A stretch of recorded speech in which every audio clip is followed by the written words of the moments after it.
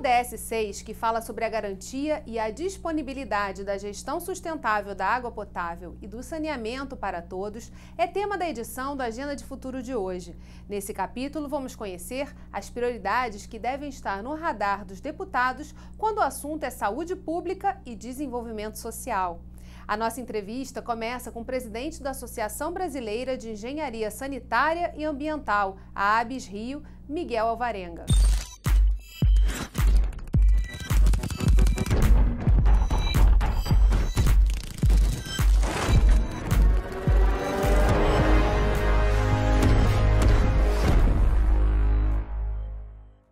Olá, Miguel. Olá, Geisa, tudo bem? Hoje eu estou presidente da seção do Rio de Janeiro, da Associação Brasileira de Engenharia Sanitária e Ambiental, a ABS Rio, que é uma entidade de representação profissional é, sem fins lucrativos, com 56 anos, e é a, a, a, entidade mais atuante no setor de saneamento e meio ambiente do Brasil. A gente está aí presente em todos os estados e Distrito Federal aqui no Brasil, uma entidade com muita participação em diversos órgãos colegiados, né, dando destaque aqui no Rio de Janeiro, como, por exemplo, a gente faz parte da diretoria do Comitê Guandu, é, o nosso representante é vice-presidente também do Conselho Estadual de Recursos Hídricos, e a gente está, estamos aqui, né, também participando aqui do fórum é, da Alerj, é, a gente é, é, tem uma atuação aí, busca né, ter uma atuação aí o mais próximo possível das principais pautas relacionadas ao saneamento e o meio ambiente, que é um tema, principalmente o saneamento, que nesses últimos anos, aí, os dois anos, tem estado muito em voga, em grande discussão, e em grande transformação. Né? Vivemos um, um momento de grandes mudanças para o setor de saneamento aqui no nosso estado. O Rio de Janeiro ele tem uma agenda forte nessa questão é, do saneamento ambiental né? e que precisa ser acelerada. Né? A expectativa aumentou bastante com a concessão dos serviços para águas do Rio né? É, de, de saneamento. E eu queria que você falasse um pouquinho desse contexto. Né? Qual é o desafio e o cenário que o Rio de Janeiro se encontra hoje e que vai, é, enfim, se projetar para os próximos anos. Como é que vocês vão atuar, estão atuando nessas discussões? Um novo marco legal do saneamento, é, houve uma nova estratégia estabelecida numa concepção de se conceder serviços da área, principalmente de abastecimento de água, esgotamento sanitário, a empresas da iniciativa privada. Eu diria que o primeiro grande case nacional está sendo o Rio de Janeiro. Não é exatamente o primeiro, o primeiro foi é, Maceió, né, Alagoas, a região de Maceió e Alagoas, mas o Rio de Janeiro é muito maior, assim, em termos de tamanho de população, área, do que a empresa lá em, em Alagoas, que também é, é, bastante grande, mas aqui é bem maior. Né? Então, a, a, em termos de dimensão e de é, a, desafio, a do Rio está sendo muito grande, grande. E a ABS participou muito das audiências públicas, da construção desse edital, procurando né, ser aí um, um ente é, propositivo, levando críticas construtivas para a melhoria do edital. Algumas foram absorvidas, muitas outras não.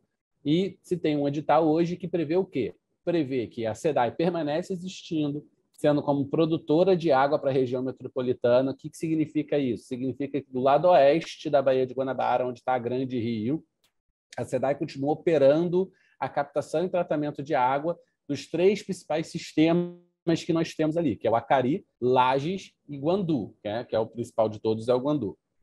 E do outro lado da Baía de Guanabara, no lado oeste, onde seria, vamos dizer, a Grande Niterói, né? o sistema Imunana Laranjal que abastece ali Niterói, São Gonçalo, Itaboraí, parte de Maricá.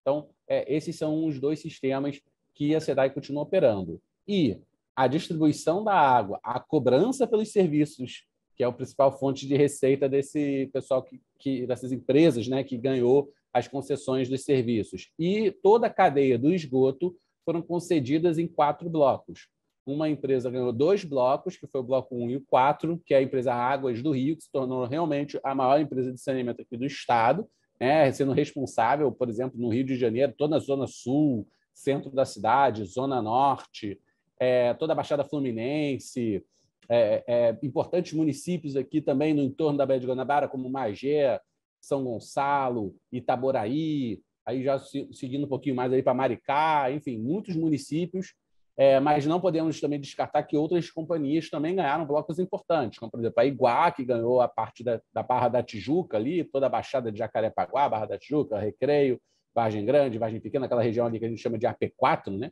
aqui no Rio de Janeiro, mais dois municípios do interior, que é Pati Miguel Pereira, e o último bloco que saiu, que foi a de, aquela região de Campo Grande, que é a P5, né? que é aquela Zona Oeste 2, Bangu, Campo Grande, Santa Cruz, e municípios correlatos ali, vários municípios correlatos, que é, é, é, é Seropédica, Itaguaí, e subindo. Né? Então, foram outros municípios até que entraram quando houve é, essa relicitação do Bloco 3. Então, essa é a nova, nova realidade do saneamento do Rio, com uma perspectiva de fortes investimentos.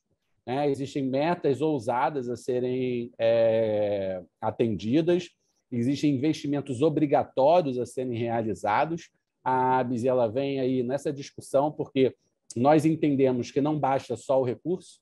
Né? Se você não tiver aí uma visão técnica, uma, uma visão de gestão, né, de governança desses recursos, atrelado também a uma, uma, uma, uma relação de viabilidade técnico-econômica posterior operacional desses sistemas, junto com uma solidez legislativa, então a gente precisa ter aí também o apoio legal né, para que isso funcione, vai ser mais um dos programas de saneamento com o objetivo de disposição da Baía de Guanabara ou de outros corpos hídricos aqui do Rio de Janeiro, que infelizmente aportes bilionários e que não funcionou. Então a gente tem tido muito essa preocupação. Nós até iniciamos aí uma série de eventos que foi o Saneia Rio, teve esse ano de 2022, é, queremos fazer em 2023. Esse de 2022 foi sobre é, captações de tempo seco, que é o, sistema que está sendo proposto de interceptores nas margens dos rios e dos corpos hídricos, como a Baía de Guanabara, para evitar que os esgotos cheguem, mesmo que pela drenagem,